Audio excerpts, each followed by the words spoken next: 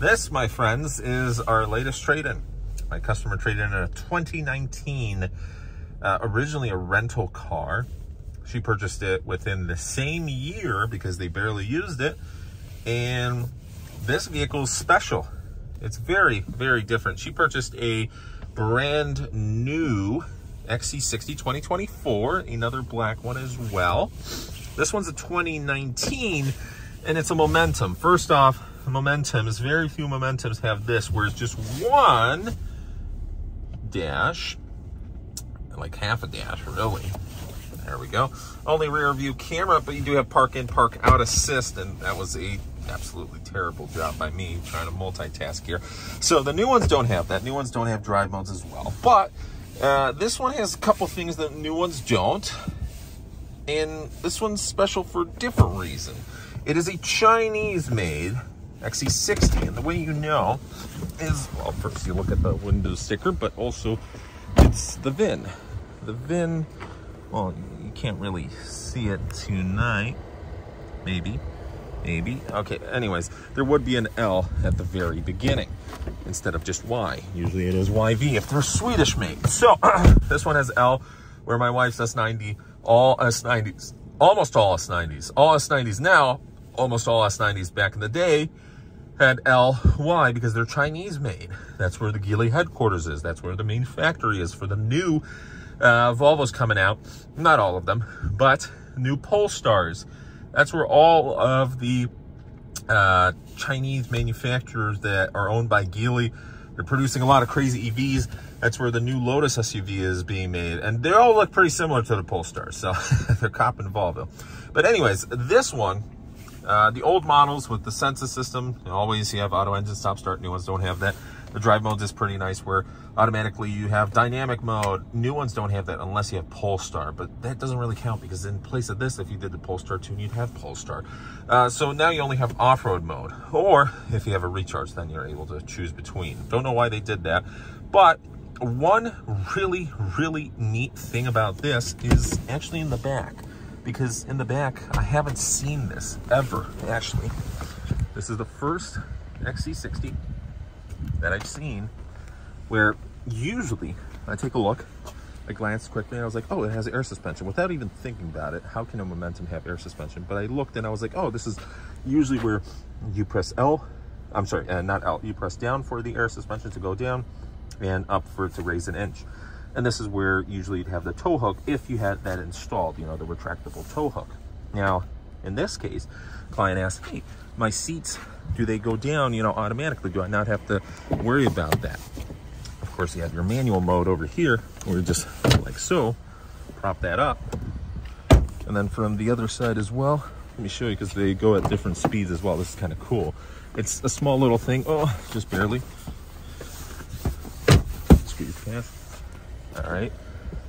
So you are able to retract it down. You press L and, oh, why is it not doing it? And I think the car has to be turned off for it. Let's see. Okay.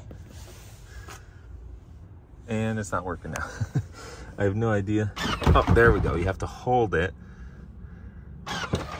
Oh, wow. Both of them went down. So that one went down. I actually just held down one of those buttons. When the client did it, she showed that went down a lot faster than the other one. That's because that one's heavier. But honestly, this is the first Volvo I've had with automatic retractable seats. A lot of cars have that, but I don't know why Volvo went away from it. No XC90, no XC60, no modern day one has that. Maybe it's because my seats moved too far back. Anyways, just want to show you that's kind of cool. You can always tell uh, it's momentum by the smaller rims. But one cool thing, this one also has the retractable grocery holder. You can always tell when, uh, is a previous gen, by the exhaust tips. T5 used to stand actually for a would be a five cylinder turbocharged engine, but now it's just turbocharged four cylinder. My T5 S60 had that. Starting it back up again, this one's only at under 52,000 miles. So not bad for a now five year old car. You know, it's under the average. Average would be 12 to 13,000 miles per year. Also, one weird thing, I, I really like this. Volvo now goes by twos. This lets you actually choose specific. I don't know why they did that. it's these little things that Volvo just randomly plays around with. Why not? you do have heated seats, heated steering wheel. Pretty much uh, client had the updated version of this, a plus, a mid trim. She did get some, so she doesn't have park in, park out assist because no XC60 has that anymore. Uh, I've never seen any new XC60 with those retractable seats, but now she gets a full dash. That's kind of nice. Now she gets a new infotainment system. You have switches here where I kind of like the sliding mechanisms and just a touch for light. That's kind of cool in the new Volvos. Uh, you do have a mild hybrid battery where this is just internal combustion engine, so it's a little bit quieter.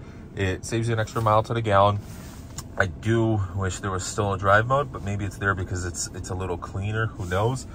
Uh, one thing that she was very excited about is she has front sensors and a front camera now, 360 degree camera, bird's eye view. So that was one of those things that was like, okay, cool. Uh, of course, you have memory for the driver, but also memory for passenger, which now it's only in the higher trims.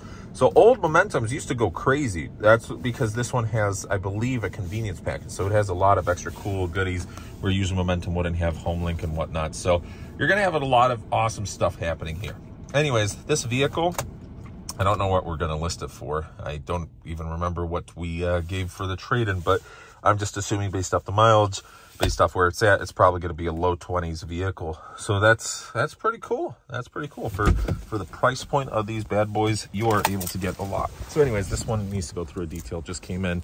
Uh, we are very excited to have him here. We are trying to get as many XC60s as we can now. And there it is from the exterior. Looks pretty good. I love those lights. Look at that. Oh man, that's just solid. Yeah, that looks awesome.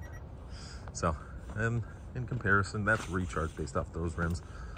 But now you have a different grill for all the XC60s compared to that, where now you have bright only for XC90s. So that's kind of a mix of bright and just the normal, the old fashioned grills, where now it's a dark R design themed sporty grill. That's also an older one. This one's an inscription, so you can tell by the larger rims. Different grill.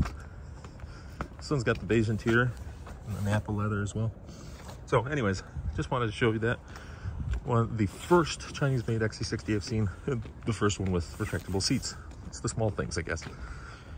And uh, our XC40. They're now making a black edition of the XC40.